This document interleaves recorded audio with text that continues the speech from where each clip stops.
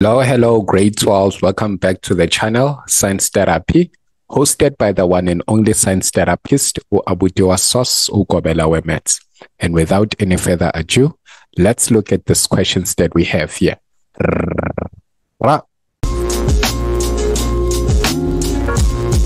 Okay, so we have question five. It says uh, three experiments A, B, and C are carried out to investigate some of the factors that affect the rate of decomposition of hydrogen peroxide, H2O2. The balanced equation for the reaction is as follows. And then identical samples of hydrogen peroxide are used in each experiment, right? So that means they're using the same mass, right? Then uh, the condition used in each experiment are summarized in the table below. So in experiment A, was done at a temperature of 25 degrees without a catalyst. Experiment B was done at a temperature again of 25 degrees, but this time with a catalyst. And then experiment C was done at a temperature of 35 degrees and without the catalyst. Then 5.1 says in which experiment A or B is the reaction rate higher? Use the collision theory. So now we can see that between A and B, the temperature uh, remains constant. It's a control variable. But then uh, the factor that they're actually investigating here is the presence or the absence of a catalyst, right? So um, we do know obviously that uh, with a catalyst, the rate of reaction will have to increase because the catalyst lowers the activation energy. So which one will have a higher reaction rate? Obviously, it has to be B, right? And then explaining it according to the collision theory, we say adding a catalyst, adding a catalyst provides an alternative pathway an alternative pathway of lower activation energy. And then that means more particles, so more particles will have uh, energy greater than the activation energy. Greater than the activation energy. So what does that mean? If more particles have energy greater than the activation energy, that means more particles now have sufficient energy to collide, right? So that means uh, leading to more effective collisions per unit time so leading to more effective collisions per unit time. Effective collisions per unit time. And then we can have our famous conclusion, thus increasing the rate of reaction, which we have already uh, in, indicated that B will obviously have a higher reaction rate then thus increasing the rate of reaction. The rate of reaction. And that's how we go about it. So adding a catalyst provides an alternative pathway of lower activation energy. That means more particles will have will have energy greater than the activation energy and then leading to more effective collisions per unit time and thus increasing the rate of reaction. Right. Then uh, let's proceed. We have um, 5.2. It says the Maxwell-Boltzmann distribution curves X and Y for two of the above experiments are shown below. Then they say identify the curve X or Y that represent experiment C. So experiment C, we can see that this one, what they did is they increased the temperature. Now between X and Y, which one represents the effect of an increase in temp in temperature? We obviously know that uh, the effect of an increase in temperature causes the graph to skew uh, more to the right. So we can see that the graph here is pushing more to the right. So that means Y has to represent uh, the effect of an increase in temperature. Then, okay, now, 5.3 says the volume of oxygen gas O2 produced in experiment B during the first 3.6 seconds is collected in a syringe as shown below. Then 5.3.1 says write down the volume of uh, O2 oxygen gas collected in the syringe. Now, whenever they say write down, that means it's something that you can see from whatever that they've given you there. So we are given a syringe and then we can see that the syringe has been pulled all the way up until this mark here, which should indicate the volume of the oxygen gas. Remember, the oxygen is right here, right? So the oxygen that has been collected fills the space here. But then how are we going to find the value in here? It's a matter of having to find out what interval did they use here uh, to mark up our syringe. So if we have 160 here, 320, we can uh, essentially get the interval here by saying they skipped two blocks here. So we're going to say 160 divided by 2, which will give us 80. So that means each block here represents a distance of 80 or a volume of 80 centimeter cube. So if it's 80 here, 160, then uh, we're just going to be adding 80, 80. So that means for here, we have 480 plus 80, which for 5.3.1, we now understand that we should have 560 centimeter cube, right? So that becomes the volume thereof. Then uh, let's now proceed. We have 5.3.2. It says the balanced equation for the reaction is as follows here. Then calculate the mass of water H2O that was produced during the first 3.5, 3.6 seconds. Take the molar gas volume uh, to be 24,000 centimeter cube per mole at 25 degrees Celsius. So now we have seen them use this a couple of times from all the questions that we've tackled before. Then uh, we know the drill. What we are supposed to do if we want to calculate uh, the mass of this one here, we are given the mass of the oxygen gas. So step number one is obviously having to calculate the number of moles. So step number one, calculate number of moles.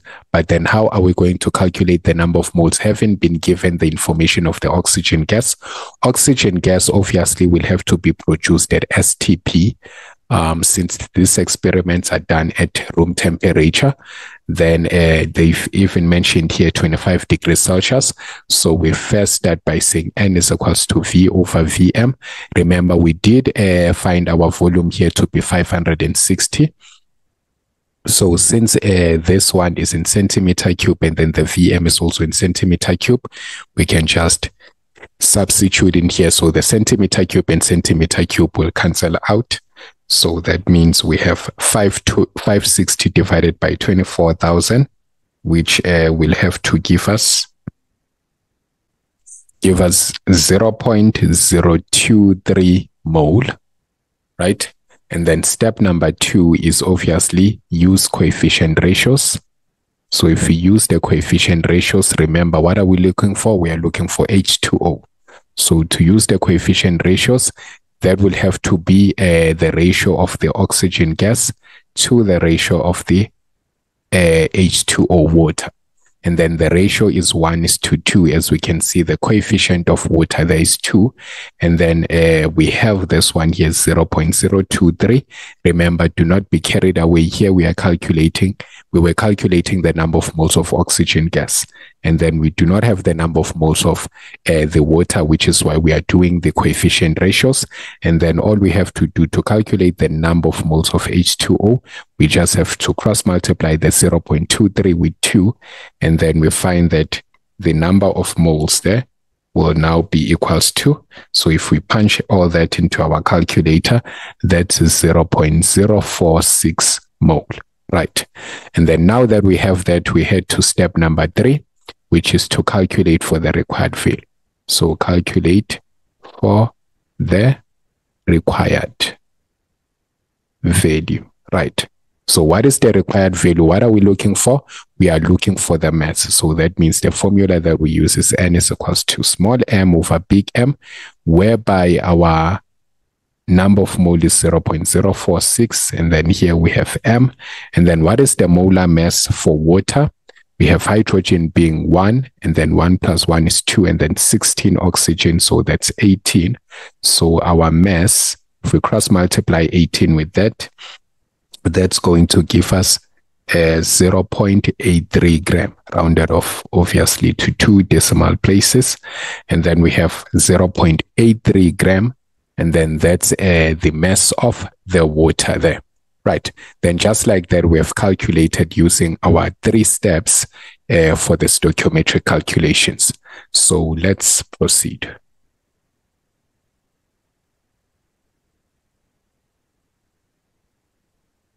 Now, um, we are given the graph below, which is not drawn to scale, is obtained for the mass of oxygen gas produced over a period of time in experiment A.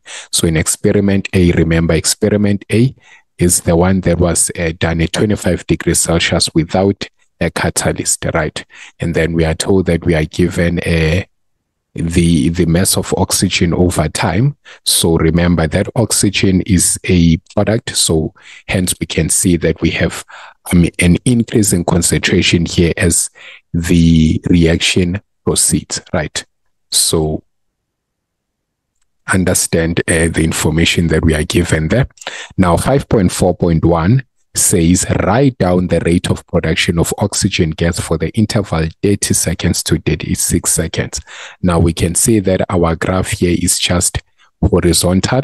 So that means there the rate of reaction is just zero. So the rate of production is zero because at that moment we say that the reaction has came to completion. So there will there will be no more uh, oxygen that is produced. So for 5.4.1, we are supposed to say zero grams per second, right? So that's the rate, or you can just say zero, right? So zero grams per second, that's the rate of production. So what does it mean? No, um, no oxygen is uh, further produced at that point because the reaction has came to completion. Then will the rate of the reaction in the interval 3 seconds to 9 seconds, so 3 seconds to 9 seconds, be greater than, smaller than, or equal to the rate of production between 9 seconds to 20 seconds. Now, from 9 to 20 seconds, if you can check here, uh, the mass that was produced between 9 to 20 seconds, which in between we can see that that's 11 seconds. But then the difference in mass, it's only 2 grams, right? So in a space of uh, 11 seconds, only 2 grams of the oxygen was produced. But then look here, between 3 to 9 seconds, that's 6 seconds. The same rate, the same mass of oxygen was produced, 2 grams, right? But then, uh, how do we compare which one has a higher reaction rate? Remember, reaction rate, we are speaking about how slow or fast the reaction is. So if it is faster, we say the reaction rate is greater. And then if it's slow, we say the reaction rate is uh, smaller. Right. Now, if you can check between three to nine seconds, that means within a short period of time, we were able to produce this much of uh, the, the oxygen gas. But then here, within a longer period of time, we were just able to only produce two gram, right? So obviously this means that the rate of reaction between 3 to 9 seconds is much more greater than the rate of reaction between 9 to 20 seconds. And even if you can look at it in terms of your gradient, you can see that here the graph is kind of more steep than uh, between 9 to 20 seconds. So here you can see it becoming a little bit smooth here, but then here it is much more steep. I supposed to say greater than, right? Greater than. Okay, so now we have 5.4.3. It says the average rate of decomposition of hydrogen peroxide is 2.1 times 10 to the exponent of negative 3 mole per second, right? Then they say calculate the value of time t on the graph. So we can see that we are being told of the rate of decomposition of hydrogen peroxide, and then which we do understand average rate of decomposition. This is speaking of our reaction rate. And then now having to go back to our balanced equation here because we will obviously need our balanced equation to solve this. Remember this, we are now looking at stoichiometry. So let's try to uh, write it here so that we are able to solve this. So we have two hydrogen peroxide uh, and then we have two water molecules plus O2, right?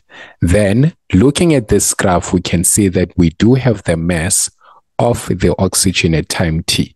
And then we can see that the mass of that oxygen at time t is 0.9, right? So 0.9. Now that means we can say, let's calculate the number of moles of uh, that oxygen.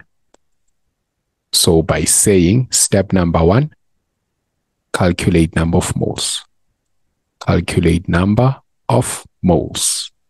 So we can have n is equals to m over big M, which uh, we do understand this will give us our mass is 0.9. And then what is our molar mass for oxygen gas? Uh, oxygen gas, remember, that's O2 right? It's not just O, that's O2. Then that is uh, 16 and 16, which is 32. Then 0.9 divided by 32 will give us 0.028 uh, mole, right? So if we just round off to three decimal places, and then step number two, we do understand that now we have to use the coefficient ratio. So use coefficient ratios and then what are we looking for now? Why are we using coefficient ratios? Because we are trying to get to hydrogen peroxide. Remember, the average rate of decomposition that we are given is not of the oxygen gas, but of the uh, hydrogen peroxide. So if we compare the ratio of oxygen gas to hydrogen peroxide, then we find that this is what? This is 1 is 2 2. So if we have 0.028, what is uh, the number of moles of hydrogen peroxide? The number of moles of hydrogen peroxide would have to be twice this. So 2 multiplied by that, we find that the number of moles of hydrogen peroxide is equals to 0.056 mole, right? Now, step number three, uh, we obviously know that we now have to calculate for the required value, which is the required value in our case is time t, right? So since we are given that, uh, so step number three, calculate for the required value for required value. So once you know the steps, guys, your stoichiometry is now fine. Then uh, we know that we have to say rate of reaction is the change in the number of moles over the change in time. Why change in the number of moles? We can see it from the SI unit because this rate of reaction we are given in mole per second. So being given in mole per second tells you that we had our change in the number of moles and then we had our delta time in seconds, right? Now to calculate that, we'll say what is our reaction rate? That was 2.1 times 10 to the exponent of, uh, what's this? To the exponent of negative 3 right? And then our change in the number of moles, we have calculated it to be 0.056 and then over our delta t, which we do understand to find our delta t, now we have to say 0.056 divided by this 2.1 times 10 to the exponent of negative 3. And then we find our delta time uh, in seconds as uh, 26 0.67 seconds, right? Then that's how you were just supposed to calculate the value of t on the graph using your stoichiometric rules, right? And then uh, with all that being said, guys, please press the thumbs up button if you've enjoyed the lesson and then you found it helpful.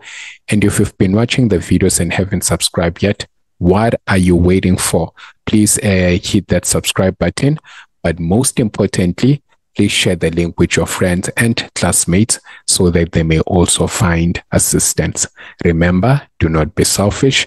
We are winning as a team.